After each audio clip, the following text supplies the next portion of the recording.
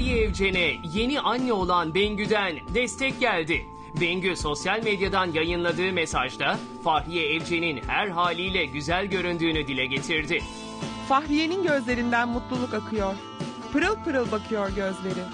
Dünyanın en güzel aşkını yaşarken kilosunu hiç dert ettiğini sanmıyorum.